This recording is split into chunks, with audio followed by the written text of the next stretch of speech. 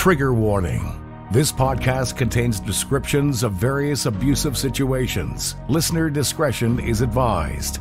You are listening to the Preacher Boys Podcast, a podcast shedding light on decades of mental, physical, and sexual abuse within the independent fundamental Baptist movement. The testimonies shared on this podcast are told from the personal experience and perspective of the survivors. Not all legal outcomes are known or final. Any suspect is presumed innocent until proven guilty in the court of law. Now, here is your host, Eric Skwarczynski. Hey, everybody, welcome back to the Preacher Boys podcast. Happy Friday. And I know what you're wondering why is there an episode of the Preacher Boys podcast dropping on a Friday instead of a Sunday? And that's a good question. And I'll get to that question, but please be patient. Uh, this week has been absolutely uh, surreal, for lack of a better word. Uh, I have felt every possible emotion you can feel uh, since the premiere of Let Us Pray. Uh, officially seven days ago was the premiere of part one of the docuseries that is exposing abuse within independent fundamental Baptist churches. If you haven't watched it yet, you're going to see yours truly in the series. But more importantly, you're going to hear from some incredible survivors, some who have been on this show in the past you may have heard from before, uh, and some you may have never heard of and whose stories need to be heard and I am telling you, as somebody who was involved, and I'm probably biased, uh, I think this is an absolutely incredible, incredible series. And from what I'm hearing from people online, it seems to be a sentiment that is shared by a lot of people. Um, I'm very thrilled with how this series came out. I think the director, producer, the entire team behind it did an amazing job. I'm incredibly honored to be a part of it. And I'm thankful that I got to hang out with some uh, incredible survivors who become close friends uh, in person as we shot this series. And uh, just if you haven't watched Let Us Pray, I mean, turn off my podcast right now and go to get a trial of Max, or if you already have Max because you're amazing, uh, go tune in and watch the series. It is well worth your time. And uh, yeah, I have to tell you, uh, coming out of the series, I mean, part one, there's this excitement, right? We've been waiting for three years for this to come out. You know, you get into part one, and, you know, my thought process was, oh my God, we're on TV. You know, like there's that element of it because it's a really bizarre thing to be seeing.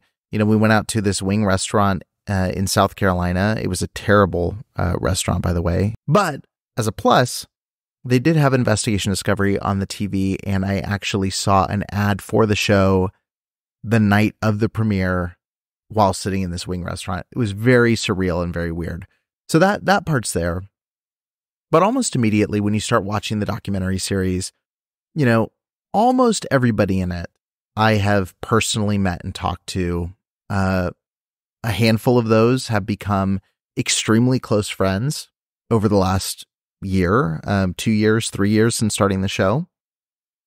And almost immediately when the excitement wears off of oh this is so cool. This is so surreal. This is incredible there is that feeling of sadness um, because you know deeply deeper than the series could ever cover some of the pains that some of these survivors have been through all of these survivors have been through. Uh, at the same time you feel an immense amount of pride in them for speaking up uh, you feel admiration when you see the bravery. Uh, I mean, Ruthie's, my goodness, I don't want to spoil anything, but just some of the things Ruthie says in that final episode are just incredible.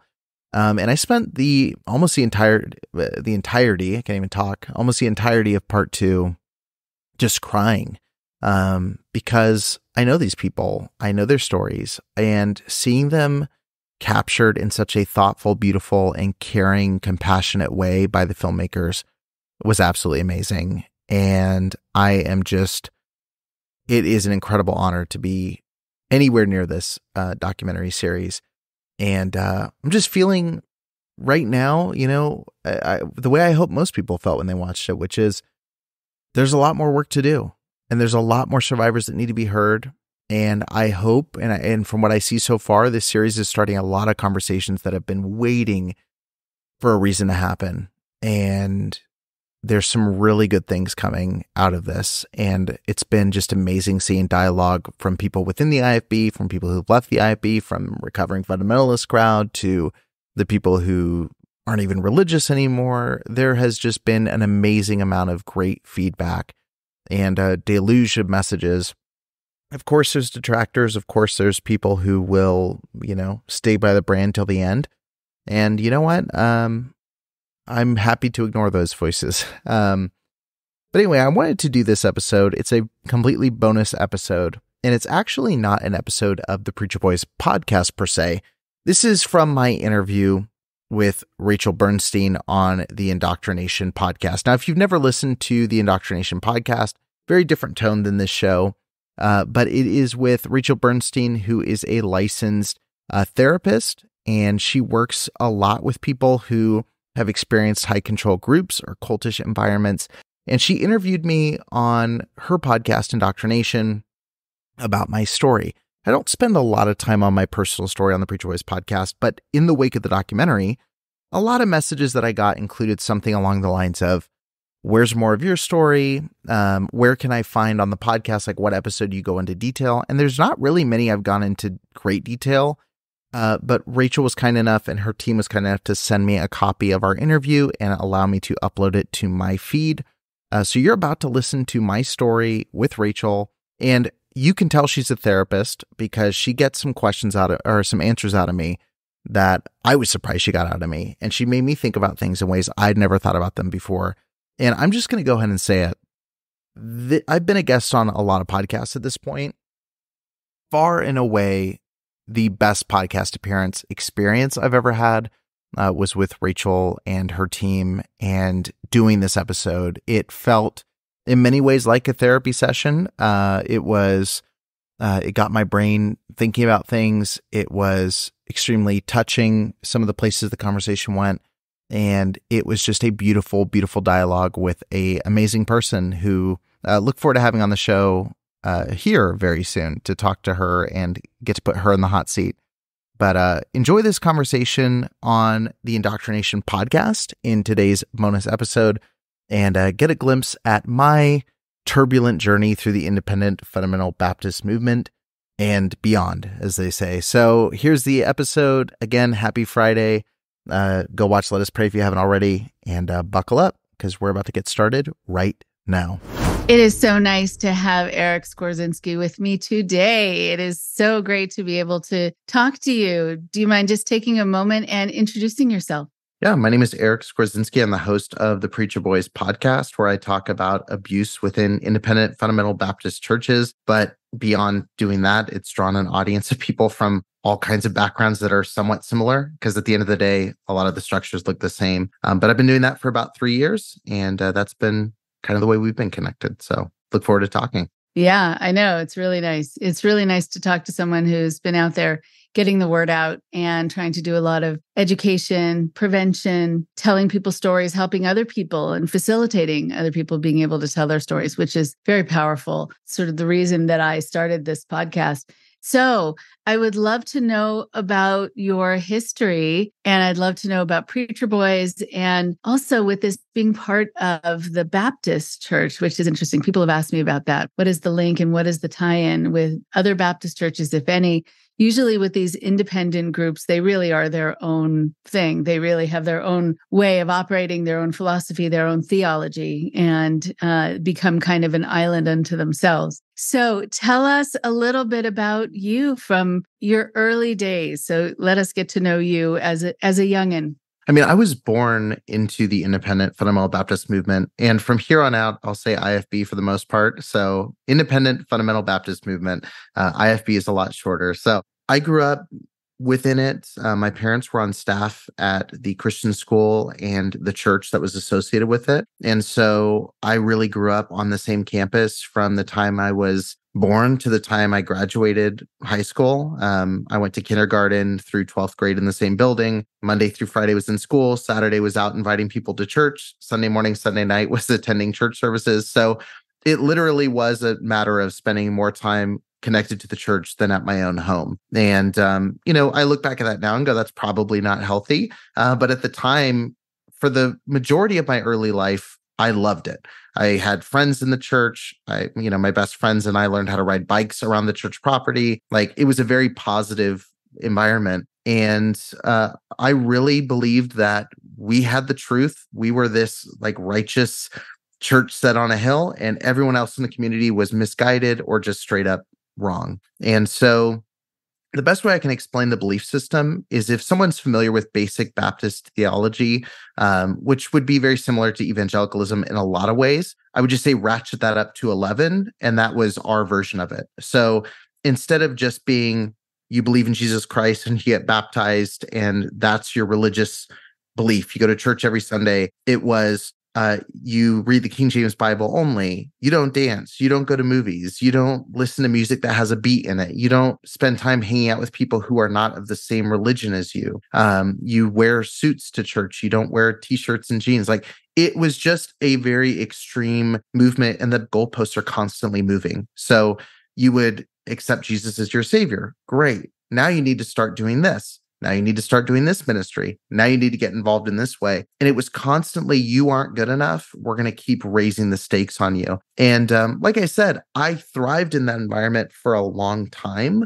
but it wasn't until I started realizing that there were some severe issues that that all started falling apart and that bubble burst in a big way, going from we're perfect to oh no, are we wrong completely? Wow. Okay. So, you know, you just highlighted something that I have seen for my last 32 years in this business, which is so often that there is this air of superiority, right? We have it, we have the answer, we're protected, we're following what God wants, and everyone else, as you said, is misguided and wrong. But yet, within the organization itself, you still can't quite get it right.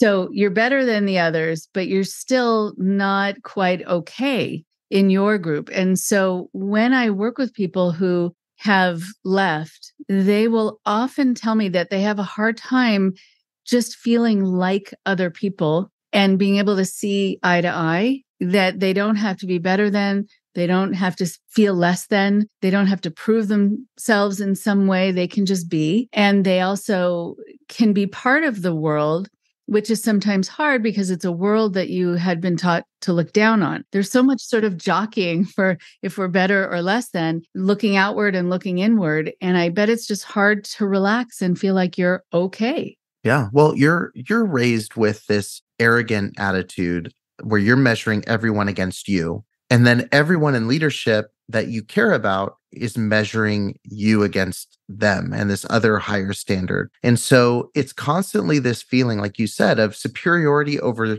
I'm not like them, you know, we're better than them. But on the flip side, it's this constant desire for approval from leadership that you're ultimately never really going to get. And I was on that treadmill for a really long time. And it's something to this day, now that I've been out of it for a long time now, it's something still where in business relationships, in client relationships, I will find myself in a position going, do they actually like me? Do they actually appreciate me? Are they only using me for this skill that benefits them? You know, and then on the other side, it's something where humility is something you have to learn and teach yourself because even though you're taught, hey, you're a sinner, you're wretched, you're this, you're also taught, you know, you are in many ways better than the Catholic down the street or the Mormon down the street or the atheist, especially the atheist down the street, because they're so far gone, you know, in your eyes. So it's a very difficult mental situation to involve yourself in.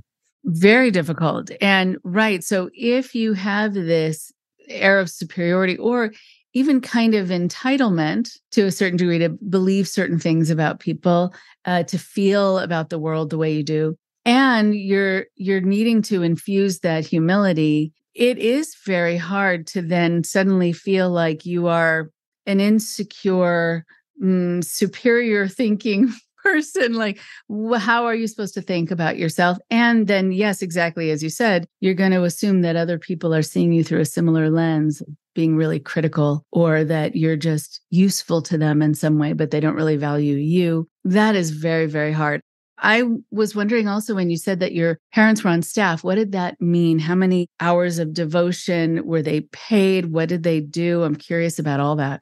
Yeah, so as far as my parents, my my dad was raised Catholic, but very nominal Catholic. Like my mom makes fun of him now because we'll ask him a question about something in Catholicism and he'll go, I don't know. And we're like, weren't you a Catholic like for a long time? And so he was a Catholic. He got quote unquote saved into the Baptist faith midway through childhood. Um, his parents or his mom remained Catholic.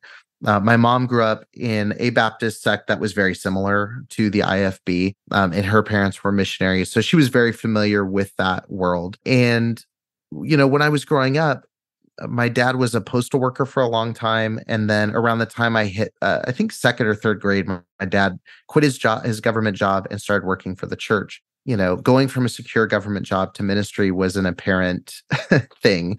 Um, you know, the finances were tight. You know, I won't get into specifics or estimates of what they were making, but I know it was a very small amount. We grew up extremely poor. Um, you know, my mom made i know less than half of what my dad was making just because she was a female in that environment. So typically in ifb churches you have the man who's hired and then they get their wife at a discounted half rate to do the same amount of work in a different area and with less authority because again they're a female in the church. And so you know growing up like i just know financially we struggled a lot again i realize more now how much we financially struggled as a kid you know what you know but yeah ministry lifestyle was you are poor god is going to provide which means the church isn't going to and um, you know i have a lot of memories of bills not being able to be paid, power being shut off, struggling to make it by, all while your parents, like my dad would work some days from 7 a.m. to 7 p.m. just on the campus. And you're going, well, I'm not seeing my dad, but I know this is for something that's, you know, a greater good. I say all that to say, too, my parents in a lot of ways were manipulated in things too. So I don't hold, while I hold them responsible for some things, there's also some areas in which I think they were victims of a system that was chewing them up and spitting them out as well. And I think they see that now in a lot of ways that maybe they didn't before. Oh, interesting. Yeah, I was going to ask about where they are on this now. So we'll get to that next. I think, you know, from the people I work with, they will talk about having a job for their church and then there were so many extras and if there were holidays they needed to work extra they were expected also to do free labor a lot of the time or even watch other people's kids and that the children within the family often felt like they really didn't have as much access to their parents as the church did or as even other kids did especially if their parents were teachers in the school and they got to be with other people's children. Uh, but yeah you hear about people being used for construction for being for cooking in the kitchen for everyone without any kind of pay um, but just the expectation of working very very hard. And usually the people there are working much harder than the leaders who right i mean the the leaders are kind of living off not kind of but absolutely living off the the sweat and the work and the devotion of the people there. Yeah. Well i mean that's something where you know it was a little different for me in the sense of they worked at the school and the church where i was at which so i saw them but it was always in the terms of ministry you know like and and my parents were great. Like i think for given the environment that we were in they did a good job of giving the attention in ways they could. Like they would stop by and say hi in the classroom but it's also like again, it's like it was the healthiest version of an unhealthy situation. So it's like a weird thing to measure. And, you know, I think some people listen to go, it doesn't sound good at all, you know, but it's again, from my experience, there were things that were when you're in a cultish bubble, it's like your whole, all your good and bad memories are in one jumbled mess. And so I think you have to, for your own sanity, in some ways, you have to look at what was good and what do I look back with fondness even though yeah in retrospect we aren't even at that church. You know, like there's a whole different conversation happening. But as far as labor, I mean, that's something I think about now. Like I was, I mean, by the time I was 11, 12, you know, 13, like I was moving everyone that, you know, moved to the area and was joining the staff in a church. I would move them into their house. I was unloading trucks, you know, the the foundation for where they want to build a new building that I don't think is ever going to get built. You know, I was laying dirt and shoveling holes and laying brick walls. Like it was constantly tasks and chores associated with the church. And now I realize like some of that stuff's not even really a legal thing, you know, some of the things that we were doing. Um, but it was just a way of life. It's like, what is the mission of the church? And everybody's on duty to do that. Like we're a team. We're gonna we're gonna carry this stuff out. Right. Yeah. Uh, when I talk to people and they remember the work that they did uh, without hard hats, and without any kind of safety, anything, um, safety goggles, safety, anything, yeah, it really was beyond what kids are usually allowed to do and should safely be expected to do. Uh, I wonder if there was just this sense that you were protected because you were, you know, believing the right way. Like, I wonder if that really caused people to just feel like people could take risks. What do you think? Yeah, I, th- I think it's that. I think it's just, and it's one of the things that's hardest about leaving a fundamentalist group is that in a fundamentalist group, you have a strong sense of purpose. And I think that's something you see happen when people leave these kind of groups is they go, what do I do? Who am I? Where am I supposed to go? Who am I supposed to follow now? Like what am I supposed to to work on? What do I like? And I think growing up in fundamentalism you don't question doing anything because the purpose is so big. Like we are working on something of eternal value. So if someone says, Hey, do you want to come, se- you know, 7 a.m. and build a brick wall? Yeah, that sounds awesome. Cause like we're helping build up the church, you know, and I get to hang out with my youth pastor who's awesome. And I get to hang out with my friends who are also going to be building this brick wall. So it was never something where I was going, you know, I don't want to, I don't want to do this. Like I was a questioner. I asked questions, but the response was always rooted in this higher purpose. So when that's your answer, when it's like God said, or this is God's will, it's like, okay, great. Let me grab a shovel. I'll be there, you know? Hopefully there's donuts, you know, kind of thing. Hopefully there's donuts. right. That makes everything better. Mm, but I, yeah, I think when, when people ask me how my work is sometimes different from a different kind of therapy work or general therapist, um, I often say that I get asked a question that other therapists don't often get asked, where a client will say to me, Who am I and why am I here? And going right to the existential what is my identity and what is my meaning? And then also, what do I like and what do I feel? And what is okay? Because that's a whole other issue of things that were made okay that are not okay and a whole sort of ethical core that needs to be shifted to translate into the real world and sometimes needs to be changed a bit. But i think it, it is hard to to think about identity and but when you're young yeah you're going to be noticing what you really like which is hanging out with friends and doing something that feels exciting and meaningful. And i'm glad you have good memories. I would hope that you would.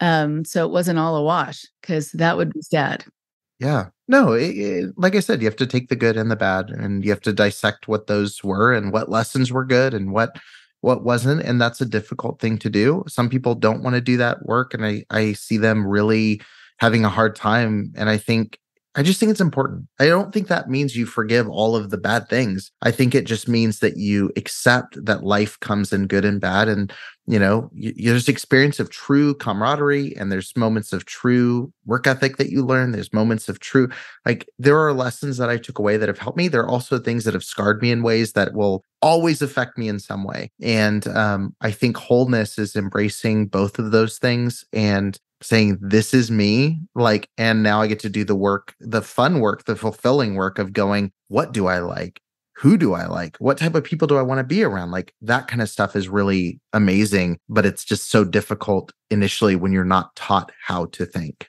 you're not taught how to think, right? And I also think that's a failing within general society. I think that part of what kids should be learning, like at elementary school level, is how to question and how to think, how to decipher, how to discern, how to collect data and figure out what is real because I think that's something that's going to keep people in good stead and a lot safer. But I do think that if the cult leader, if you're involved in a cultic group, if the cult leader could actually leave, then you'd be left with nicer people um, who were probably healthier, who were well meaning by and large, not all, but who had the sense that they were there and, and really were there kind of for the right reasons. And then it would be a much healthier organization all around. It's just when the, the leadership is not okay in the way they run it and the way they feel and what they make okay, that again is not okay. That's where the problems, I think, come in. So it makes sense that you're going to have some good memories because you were surrounded probably by good people to a great degree. I'm wondering though, when you're saying there's some things that left you feeling scarred,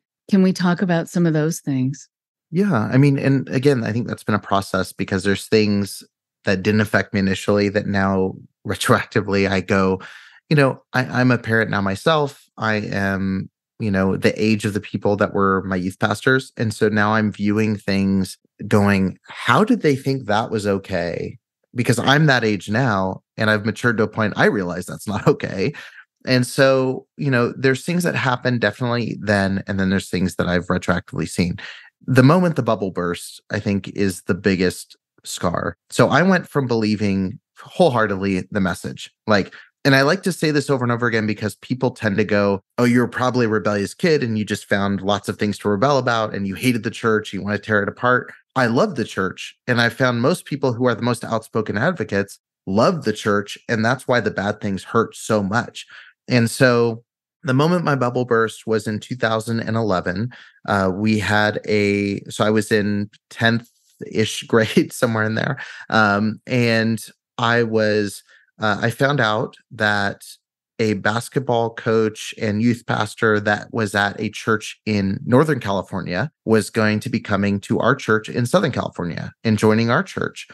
And I was very familiar with this person. I knew kids on his team because we had gone to basketball camps and basketball tournaments up in Northern California with them. And when I found out the news, I texted the kid on his team that I knew and said, Hey, are you sad that your coach is leaving and your youth pastor at the time? And he said, Not really. I'm kind of angry because he just left out of nowhere. And I was like, That's weird. So I Googled to see if the church had put out like a, you know, totally innocently going, Did they put out a farewell announcement or hey here's what he's going to be working on now and like why is he coming to our church what's he going to be doing and the first thing that popped up in google was warrant issued for chico youth pastor arrest molestation of teenage girl. And i read that piece of information and went what? Like this is something i've heard about the catholics doing but like this doesn't happen in the baptist church. Like molestation and this there's a warrant. Now he's coming here. And he came to our church and instantly got involved teaching a sixth grade Sunday school class, was singing specials in the church, was heavily involved. And I'm sitting there as someone where I have this information now. I don't know what to do with it. My highest authority is the pastor. Um, this guy's higher on the, you know, higher in the rank than me because he was a leader. So it's like, what do I do? Who do I tell? Where do I go with this? And so for a couple of days, I'm going, I don't know what to do. And then I started going to leadership. I went to my parents, went to youth pastor, went to eventually the senior pastor. And all I was met with was either, okay, like, what do you want us to do about it?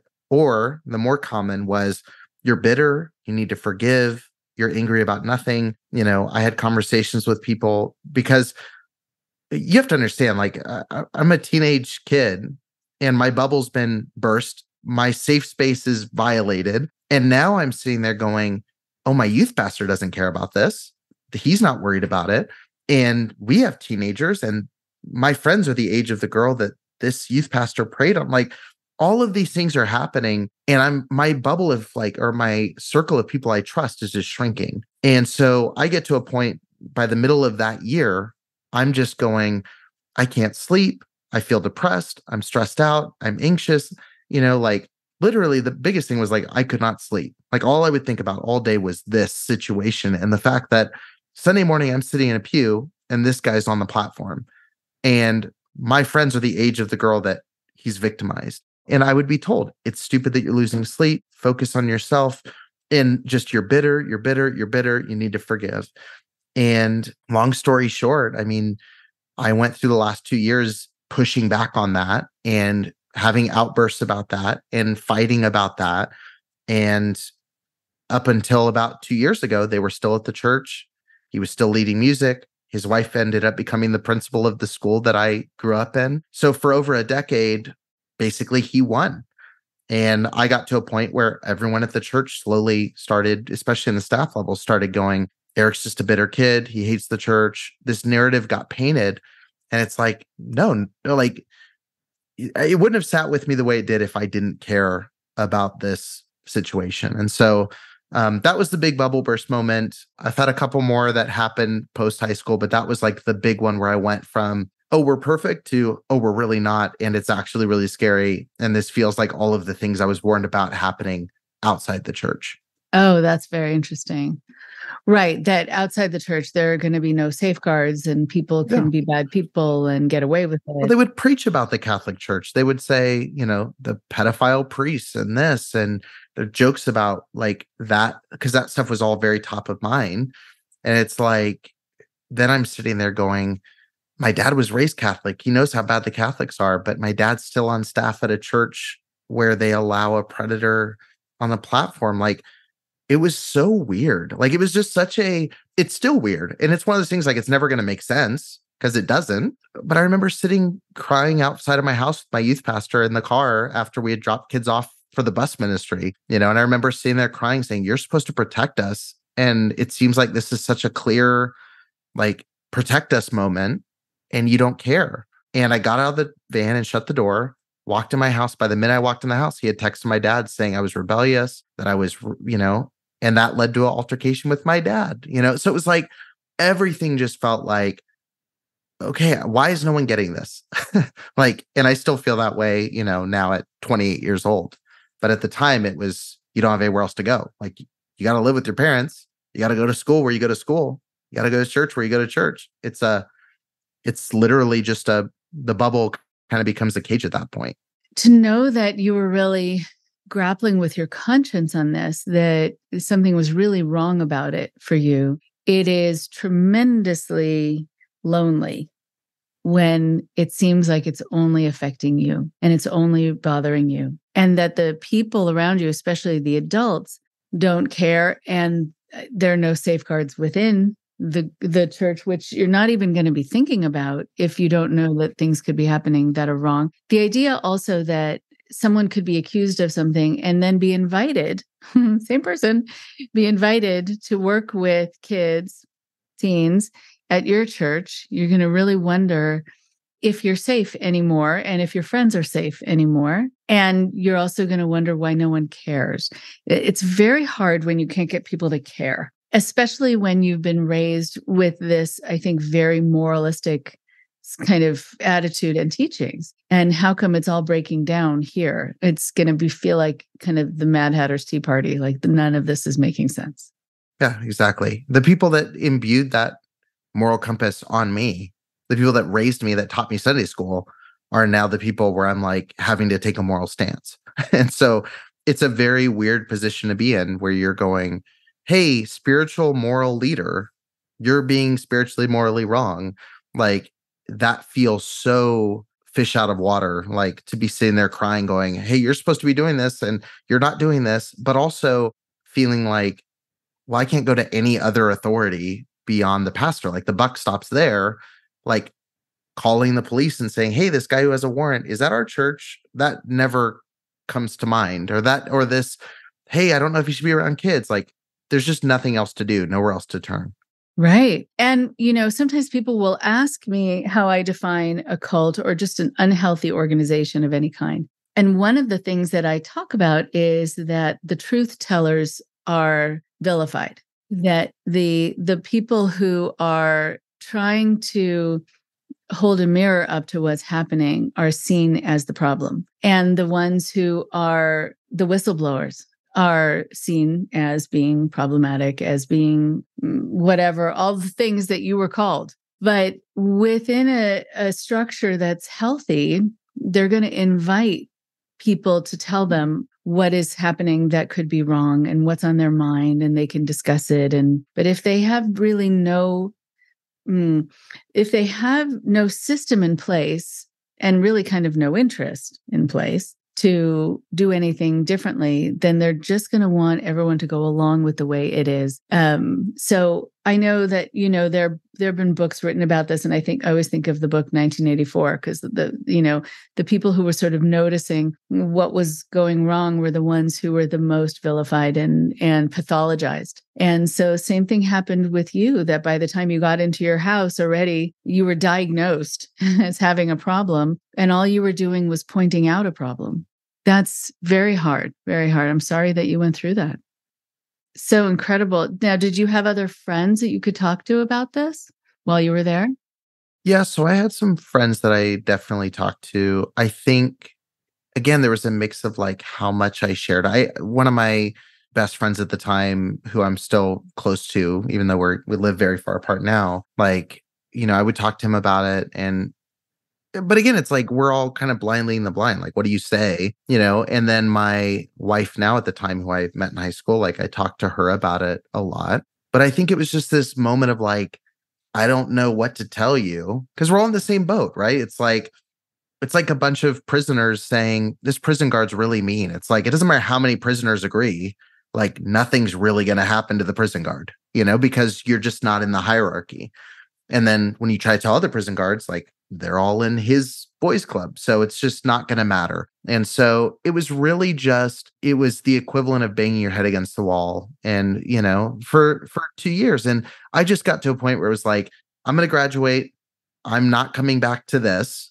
Like i'm going to go do what i'm going to do and figure out from there. Um you know do my one year bible college and then go move somewhere where no one's going to ask me hey how often are you going to church you know that sort of conversation so right, so I do want to talk about that about when you left and and if that was really the catalyst or that was sort of the beginning of the crack, right? And and what happened that mm, that really propelled you out of the church? Yeah, I don't know if it's propelled. It was kind of like slowly figuring it out. I mean, it was like it was kind of like just a massive wake up call when that happened. And then it was like little massive wake up calls, like almost like aftershocks to the initial earthquake that just kind of gets you all the way out. When I graduated, I had registered for one year Bible college because they, you know, and that was, you know, I did not want to do that because I didn't want to end up being a pastor. I knew I wanted to do videography, I wanted to do media, I wanted to do all the things I'm doing now, ironically. But I I knew if I went, they were going to try to get me into their funnel to become a pastor. And I didn't want to do that. And I knew that even when I was devoted, I was like, I wanted to be the best Christian filmmaker ever. But it was like, I don't want to be a pastor. That's not what I want to do. So I was registered for college. I was begrudgingly doing that. I picked one that was close to home so I could be near my girlfriend, who's my wife at the time. Um, and I got a call about two months before I was supposed to start college. So I was wrapping up school. I think it was May or April, and I was graduating in June. And it was from a leader from a Christian camp that I had met who did design and media, and he had a Christian media company. And he called me and said, Do you want to go help shoot a documentary in India for three weeks and then intern with me for a year? Or do you want to go to Bible college? And I said, I just canceled my application to Bible college. I'm going to come shoot a documentary. So I went and moved to Fresno, California went and shot a documentary in India, worked interning for a year, uh, actually for two years, going and shooting media and commercials for IFB churches all over the country. You know, I went to three different countries and I think 18 different states over the course of two years. So, again, when people say you had a bad experience in one church, it's like I got to see a lot of different flavors and branches and deal with a lot of different personalities over that time. But I did that. And one of the one of the groups that I encountered and shot for in the second year was a missions organization. And I went out of the country.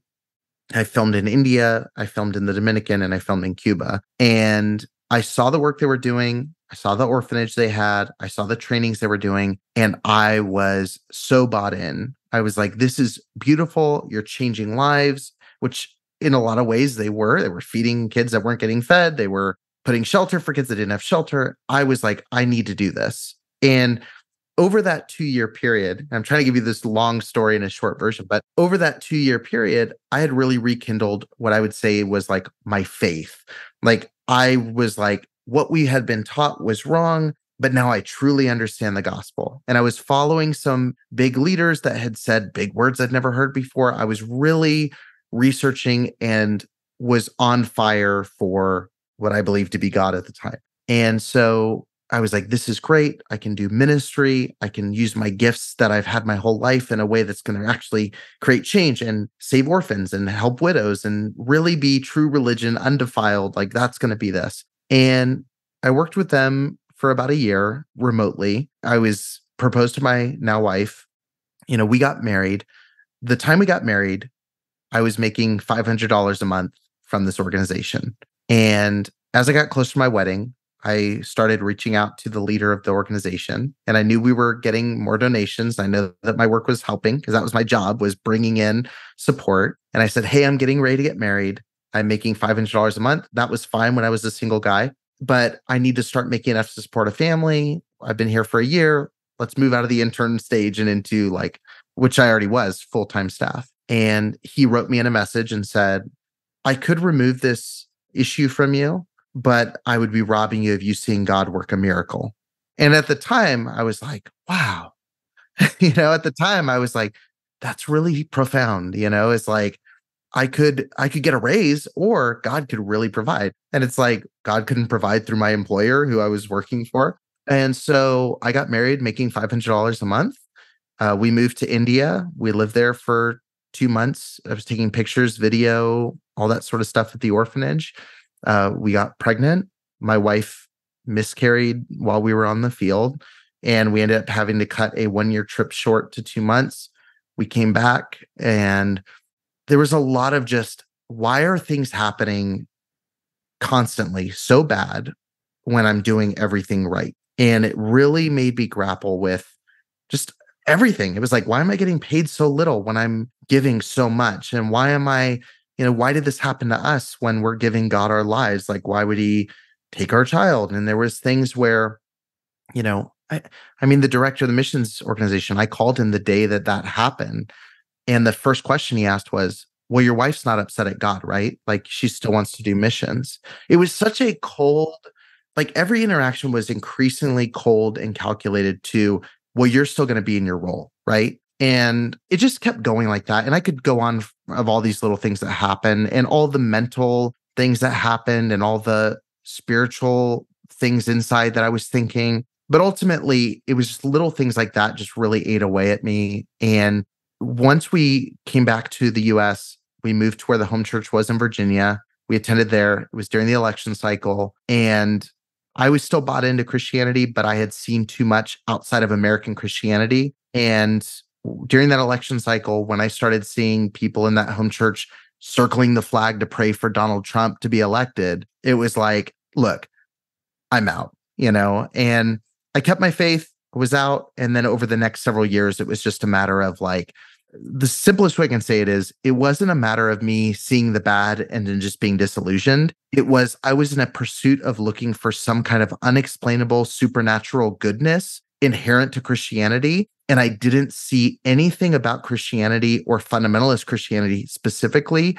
that couldn't happen in any other setting. It was like, instead, we're just as bad, if not worse, than the Harvey Weinsteins in Hollywood. We're just as bad as the Catholic Church that was so vilified. We were just as bad as all the other groups we were talking about. And it just became a, rather than a snap decision, it was like a slow death of first fundamentalism and then ultimately, you know, my faith. And that's the short version. if you had three hours, you could get a little bit into like the slightly longer version. Okay. Well, hopefully at some point we'll be able to go over the longer version. But that is a very powerful story.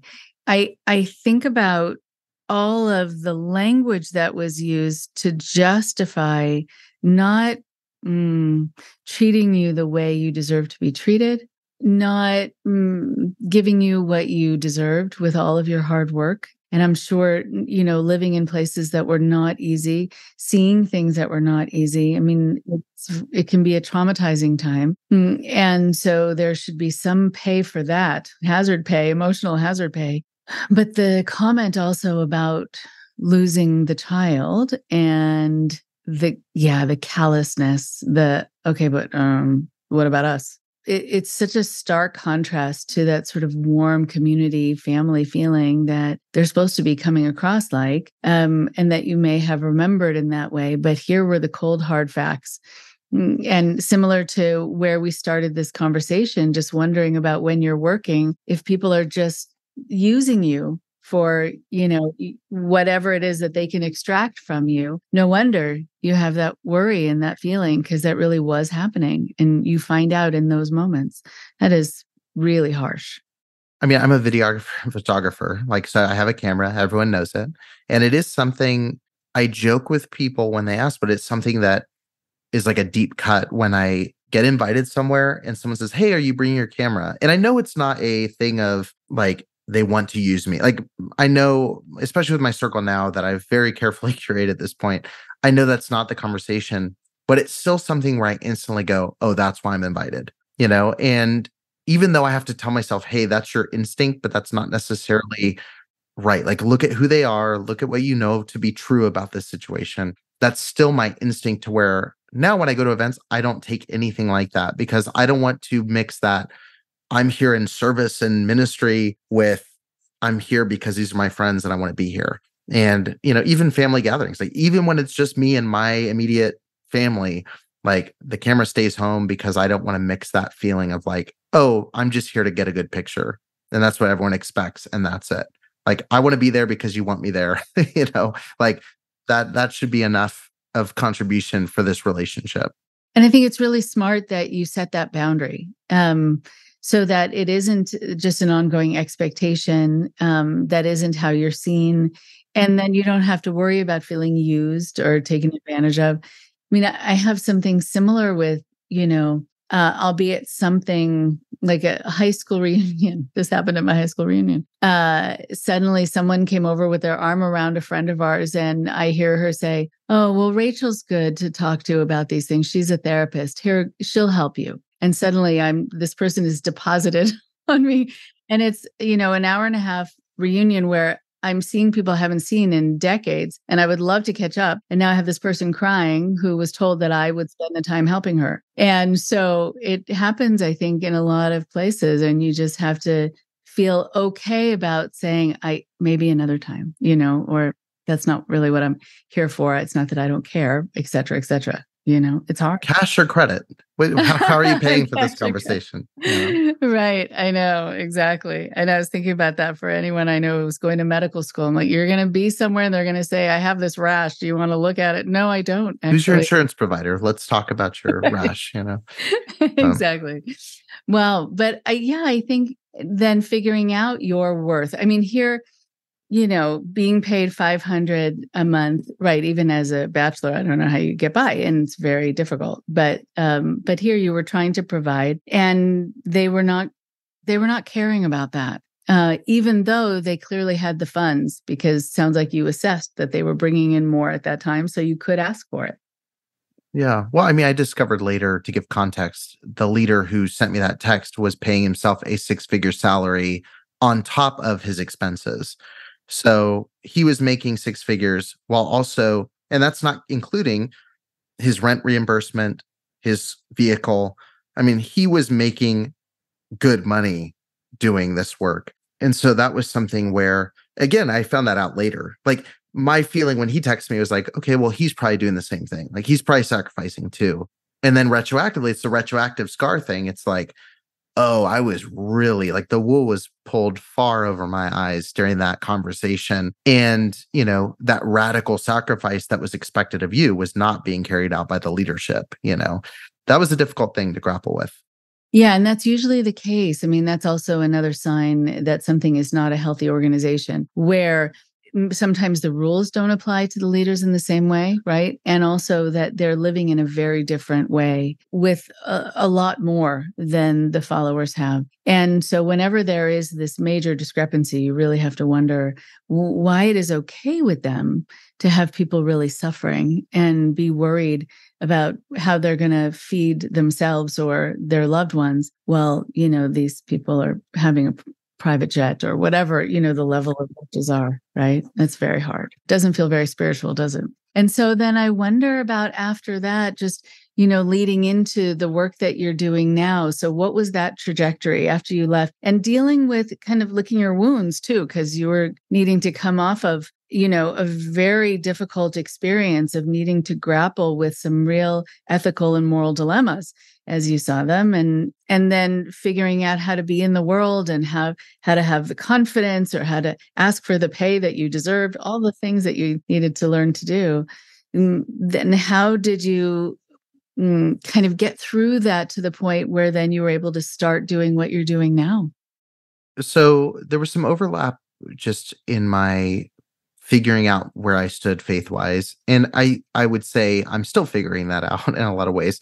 But you know, leaving the mission field, then leaving ultimately just ministry, which that was an explosive conversation too, that left us basically with, I mean, we were packing boxes around Christmas time, shipped back to another state, going to go live with family. My wife was pregnant again, and we had less than a thousand dollars, which then we had to end up paying in back rent to the brother of the leader of the organization. It was just a, it was a horrible situation. We came back with no money. Now we've got a nine month timer counting down because we have a baby on the way. And here we are sleeping on a couch at my parents' house. And I'm going, I don't know what to do.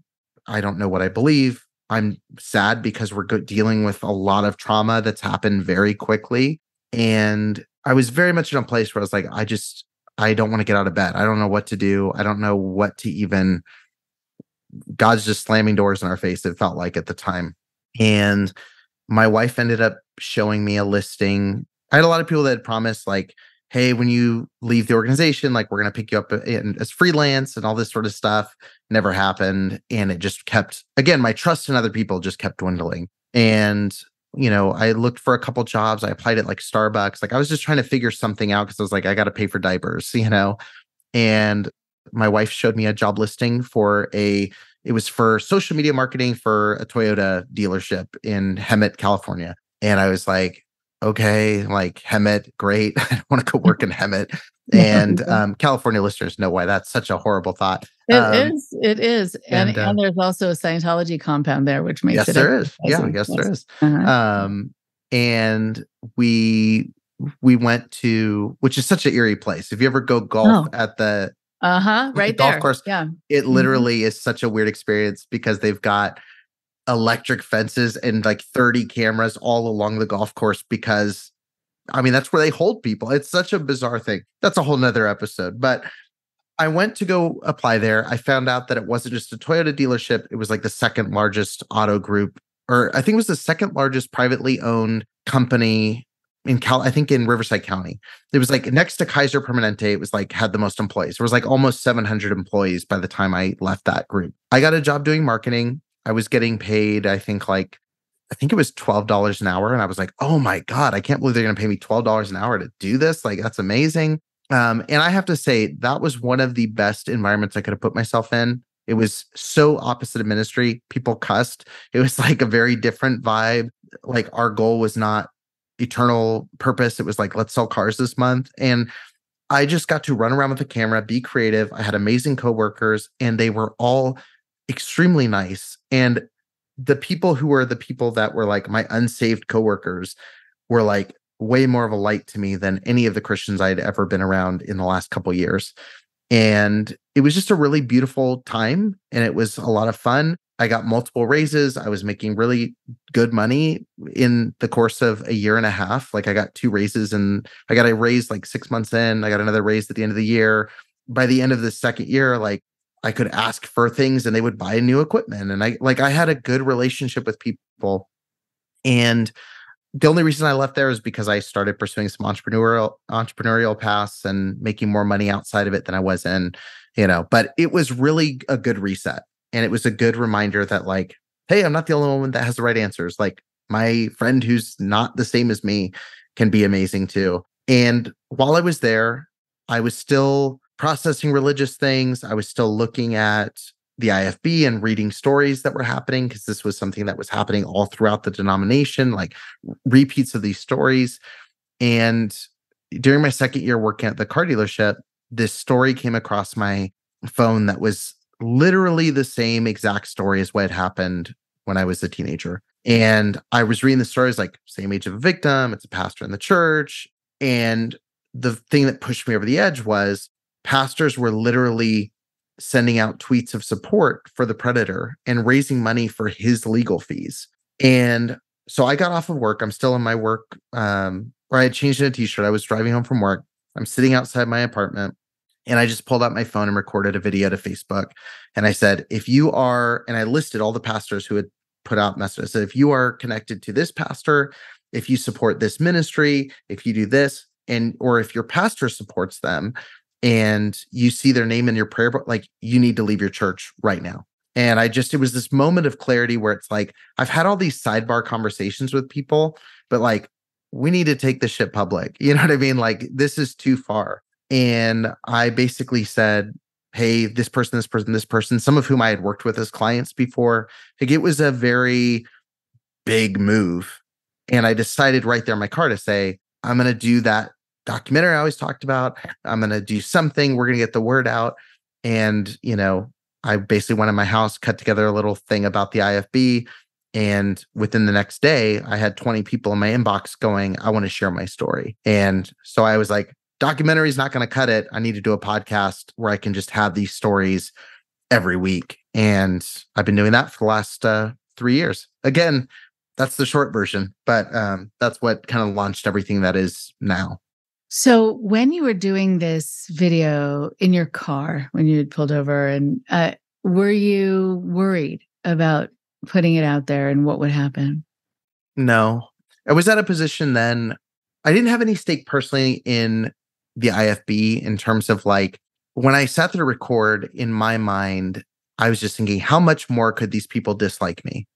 Like at that point, it was like, I said what I need to say. My biggest concern really was is this going to affect my relationship with my parents who still work at the church that whatever i like i didn't i was worried about like is my dad get is going to affect his job is there going to be like i was worried about things like that but as far as like i wasn't worried like hey i'm not going to get allowed to speak in chapel at a you know that wasn't an option anyway.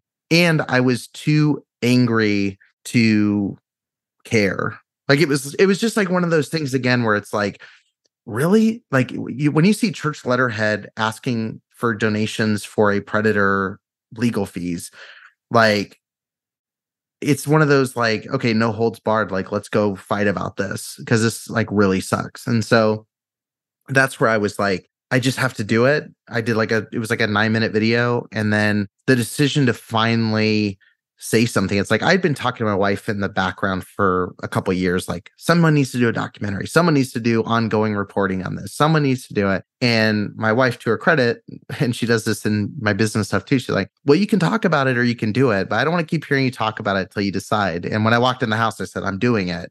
And then she was like, "Oh, great! now you're doing it." So it was kind of one of those one of those situations, right?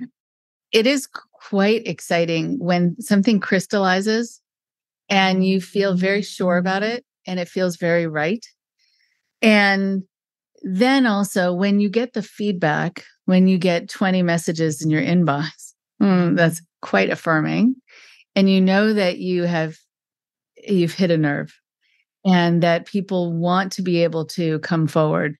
You know, one of the things that you get to do and you get to be when you do that, when you are one of the first people to come out and say something is that then you let other people feel more comfortable who didn't want to be the first but they were hoping probably that someone else would so that then they could jump on that um, so you really open the door for a lot of people who were waiting for someone else to give it a shot and be brave to be the first I wonder with the responses that you got, were there responses that were not easy to receive?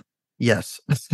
um, yeah, I mean, and, and I want to give a shout out really quick to like Sarah Smith, who's a reporter for the Star Telegram. She had done like a bombshell article, had found like 500 cases a year or so before that. Um, you know, Darrell Dow with Stuff Fundies like had been blogging about some of the absurdity of the IFB. So there were I don't want ever want to just accept the title of the first to do it because there were some who had done it really well before. Um, but also there weren't many that were able to do it in an ongoing way. So Sarah Smith was a reporter. She can't just say, tell her editor, hey, every week I'm writing about the IFB. It's like you've got other projects. So being able to do it in a weekly basis was important to me. Um, and then I think for me, all the feelings of fear and imposter syndrome happened after the show launched. And I and it was because it was for two reasons. One, I'm talking to people who, you know, and I've I have a friend who's a trauma therapist who always says, don't compare trauma, you know. And she's right, but we do it, you know. And I was talking to people who I'm like, these are real survivors of real bad things. And am I worthy to share their story? And am I worthy to share a screen with them and talk about my experience and their experience? Like that starts going through your mind. And you know and and i think that was healthy in a way because to this day the people whose opinion matters to me is survivors. Like if a survivor tells me hey i feel like you're really invalidating a lot of people's stories i'm going to listen and hear that feedback. The the other reason that imposter syndrome set in was because the show when i launched it i told my wife in our kitchen i said if i can get like 100 people to listen to the show by the end of the year that would be great. By the end of the first year there's tens of thousands of people listening. And so now i'm sitting there going okay, if I'm thinking like this is an arena of people, I'm broadcasting this message to a lot of people who I don't know. Like I'm all of a sudden just out there. Like now I'm an influencer. And that was a scary place to be because it's just a lot of weight and responsibility beyond pulling someone aside at a party and telling them some information. So that set in. And then the feedback from people started coming in, which for the most part was either 90% was survivors going, thank you, and people going, thank you for talking about this. Then a very loud 10% was pastors saying really obscenely crazy things. Pastors literally, I have sermon footage of people who literally said, like, you know, he's dragging people to hell with his podcast and, you know, all the kind of language I'm sure you can imagine. And so it was, that was annoying, but it almost, again, I was at a point, and I think it's good I started the show later than when I first left the movement. I was at a point where I understood that their belief about me had no weight on me. And they can believe I'm dragging people to hell, but if I know that's not true, if I had done the show when I still thought that was a very real possibility that I'm wrong and I'm going to hell because I disagree with the man of God, like it would have had a lot more weight. But instead, it kind of just reaffirmed, like, I am touching that nerve. I need to keep going. Like they clearly are panicked about a 26 year old or 25 year old at the time with a podcast. They're in a pretty fragile boat. So let's keep rocking the the boat a little bit. So it just reaffirmed and and just getting to meet so many cool survivors like really just it built this kind of community really quickly where I was like, we're headed in the right direction. I'm not doing everything right, but we're heading in the right direction. Right. And I wonder what else you were told when you were saying that they were saying crazy things. There are things that, you know, yes, that people are told that then you somehow are the evil one and you're the one who's doing bad things. Mm, again, just because you're holding a mirror up to what happened and you're giving other people a forum to do that, which again, in a healthy organization, they would be happy that you're pinpointing where the problems are so that they can fix them if they don't want to fix them and they just don't want to be mm, kind of held to a certain standard, then yeah, it's never going to be appreciated. And what else were you told? Anything that that sort of weighed really heavily on you? Yeah, everybody that was connected to like the independent Baptist movement as a movement, the brand, were upset. And then I had a couple like I had maybe four or five truly independent pastors who just had a church that didn't care about that world that were like reaching out positively. But it was very much a we support you. We're not going to do it publicly because we don't agree with your stance on the King James only Bible at the time and all that kind of stuff, which was like disappointing. But it's like they were at least asking for resources to keep kids safe in their church. I'm like, that's good. Let's let's set the bar low. That's great. But as far as things that were said, I mean, again, it was just stuff like it, it was just things like, oh, you're dragging people to hell. There were there there were times I think it, it didn't weigh on me at the moment, but there's times where when you're dealing with religious trauma and working through spiritual things, when you've been raised to say, basically, you're going to end up, if you start going down a slippery slope, you're going to end up not believing. You know, you're going to end up in hell because your your conscience is seared. Like all those sorts of things. Like I got to a point where I would catch myself not when I'm actively thinking, but when you're just kind of passively thinking and you have that intrusive thought of, what if they're right? What if I don't believe this now because my conscience is so far gone, or God has turned me over to being a reprobate mind and all those kind of things? But for the most part, I think it was a pretty grounded thing. I mean, they said all kinds of stuff. I mean, you're dragging people to hell. One pastor said it's good that some ex- abuse is being exposed by Eric and people like him, but it's kind of like they're maggots, like they're eating away at bad flesh. You don't want maggots around, but let them do what they need to do, and then God will get rid of them. Like that kind of weird language. I will say the thing that really weighed on me, like as far as emotionally and what led to a lot more crying in the car, you know, early on was, you know, just the amount of stories I was allowing myself to hear in conjunction with each other. You know, when I started the show, I was doing three interviews a day and here I'm going to do this. And I didn't understand there was this secondhand trauma I was going to feel hearing the most horrific stories you've ever heard. And so I think early on it was just like again, not doing everything the right way. I wasn't learning how to space. I wasn't going for walks in between calls. I wasn't taking time to recenter myself. Like all of those things just led to me just going like I would go sprint, sprint, sprint, do as much as I can, post 40 times a day, do a bunch of interviews, and then collapse. And then I'd be like, hey guys, I don't know if I'm gonna keep the show going. I'm gonna go for a month and take a break. To then sprint, sprint, sprint to the same thing. To now I feel like I have a very set cadence. I have things I don't do. I have things I don't watch. I have time after calls. I go and take a walk after that. Like I have things that I just do to reset. And I think early on, like that's what weighed on me most. It wasn't what pastors were saying about me. It was like, oh my God, I don't know how to process. I've talked to three rape victims in three hours who've told me very heavy things. And I feel fine on the interview. But then the minute that camera goes off, it all just hits me like a tidal wave. That's something I had to learn how to kind of stabilize and balance um, over time.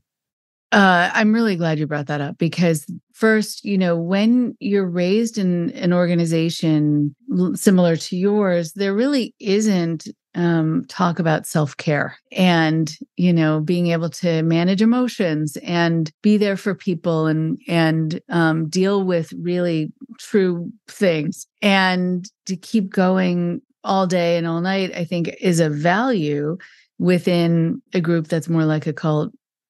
And putting your feet up isn't necessarily and taking a break going on vacation. When you know i think also having meaning and purpose it kind of flies in the face of people feeling like it's okay for them to do self-care when when they're in a cultic group or even when they first leave that they need to devote themselves to something at kind of sacrifice themselves for it and so i'm glad that you're able to catch yourself i very much treated it like a ministry. You know, I went into it with that mentality of this is important. I need to help people. And all those things are true, but also I'm important and I need to take care of myself and my family is important. And I'm not showing up as, and I, I didn't very, uh, you know, in the first year of doing the show, I wasn't showing up as the best husband I could be. Like my wife's dealing with, like, you feel like, hey, something's wrong. And I'm like, I don't want to talk about it because I didn't.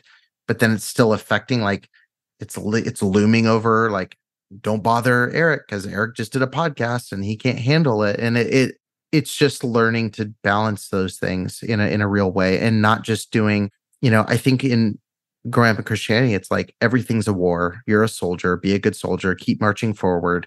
And it's like I realize now it's like it's very much a matter of like putting your oxygen mask on first and being able to go like how do i show up best in my interviews it's not when i'm about to burst into tears myself when i sit down to record like it's when i'm sitting there going like doing this to me right now i can come into it and go i'm prepared to talk about this i know what i'm going to talk about i feel comfortable expressing if there's something i don't want to talk about on this day and we can go into it and that's such a healthier approach than if you would have interviewed me two years ago i would have been like yeah, last week I cried in the parking lot of Whole Foods randomly. That was cool. You know, like that's not a that's not a way to live. And it gets to a point where you fall into a very deep depressed. I was extremely depressed. And then you have COVID and I lost a lot of income. Like there was all these factors that I was doing the unhealthiest thing ever that was doing really well. And that's a confusing thing, you know? Very, very confusing.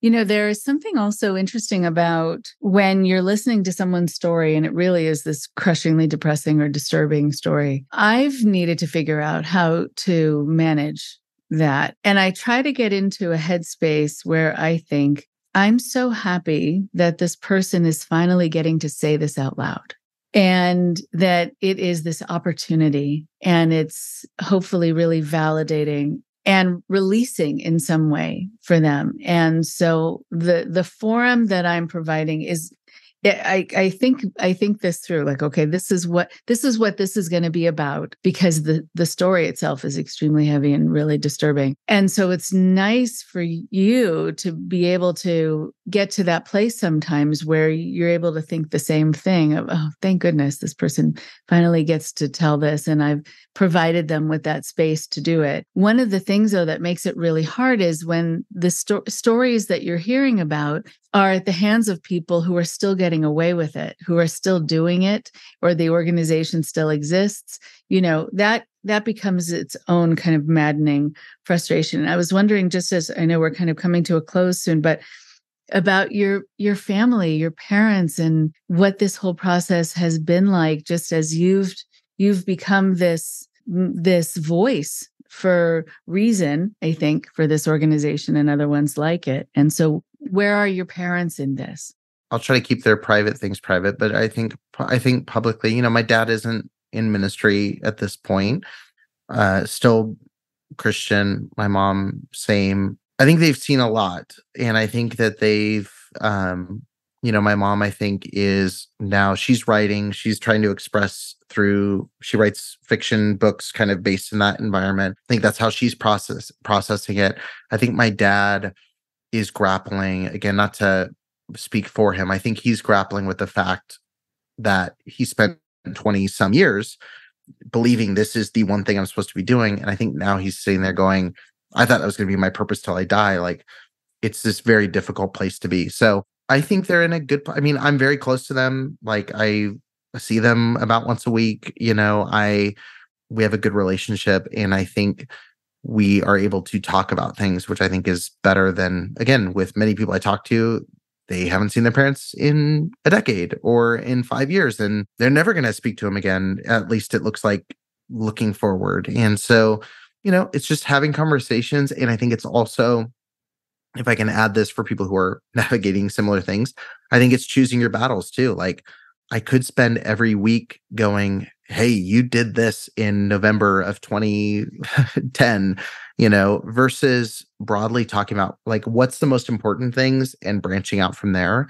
And like, and understanding like my dad worked a lot, you know, like I've talked about it before, but also that's not just a ministry focused thing. A lot of dads do that. And I think it's wrong. And I can talk about how that affected me. But I also I'm not going to waste the time I have with him now when he realizes that's not something he should be doing by just beating that dead horse. So I think it's acknowledging what hurt, talking about it, and then also having space to like, what's our relationship look like in 2023, 2024, and onward, you know, and what can we, again, acknowledge the bad and talk about the good and focus on the the day to day now.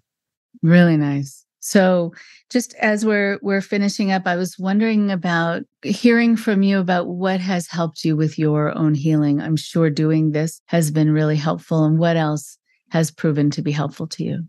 I mean, it's really simple. Um, I mentioned it earlier, but like go going on walks has become my that's my thing that I do. I, I don't know, and for everybody, it's different. What's been really healing for me doing the show uh, I'll try to give like three things. One, it's just been really scheduling out the show in a terms of I do a very limited amount of interviews a week. I have it very regimented in my life. I don't listen or read. My time devoted to trauma, religious trauma, all that is anything for the show.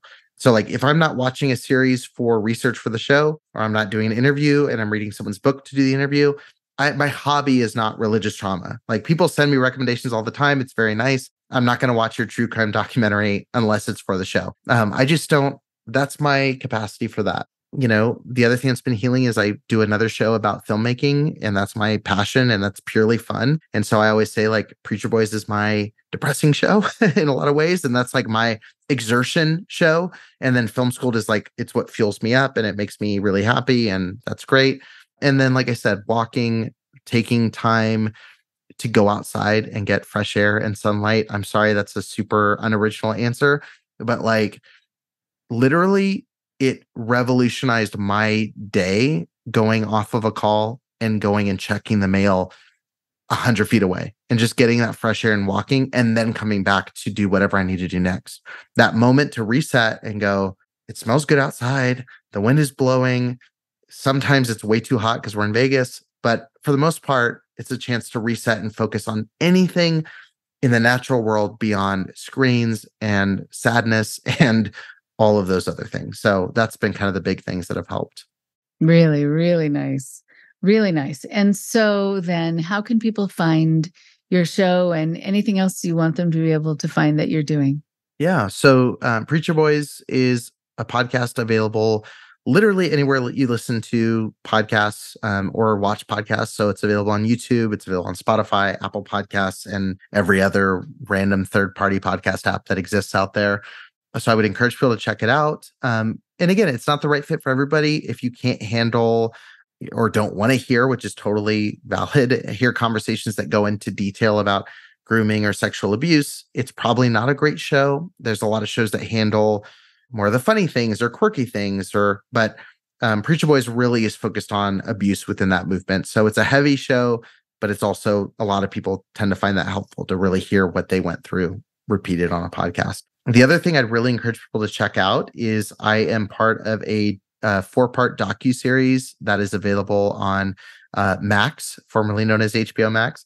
Um, it's available to stream through uh, the Investigation Discovery um, channel on HBO Max, and so that series, as of this recording, I have not seen, um, but I know pretty much everybody in the series. I've had them on my show, and it it is going to be a really really cool um, basically lesson about what the IFB is and then how that whole system works. So if you're sitting here going, I don't know what the independent fundamental Baptist movement is, I still don't understand it, it's going to break down the origins of the movement. It's going to break down some of the biggest cases that have happened within that denomination. And I'm featured in it really as someone who's explaining, as an armchair expert at this point, like how these groups are connected. And so um, definitely visit uh, Max to check out that documentary. It's called Let Us Prey. Um, it is a really exciting series, and I, am sure there'll be a link in the show notes to to go check out more information about that.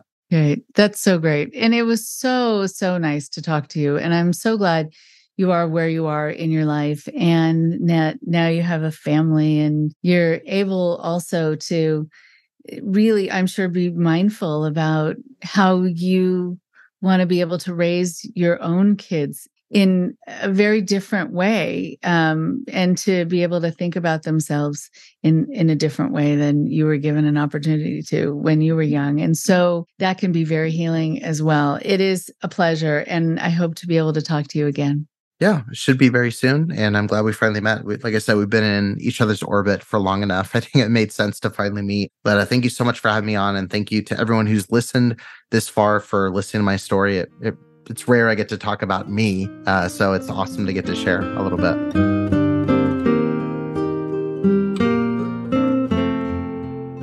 Hey, everybody, thank you for listening to today's very special bonus episode of the Preacher Boys podcast, where I was in the hot seat with my friend Rachel Bernstein, who interviewed me on the Indoctrination podcast. I'm extremely happy with how the interview came out, and I hope you got a better glimpse of my own personal journey in and outside of the independent fundamental Baptist movement. And uh, really appreciate everybody taking the time to listen. A brand new episode is coming out on Sunday. Uh, so, in just two short days, you're going to be hearing my conversation, my part two conversation with Ruthie Heiler, who is also featured in Let Us Prey. Let's keep the dialogue going and have a beautiful, beautiful weekend. Thank you for listening to the Preacher Boys podcast. If you appreciated the content on the show, please leave a review on iTunes and don't forget to connect with us on Facebook, Instagram, or Twitter with the handle at Preacher Boys Doc.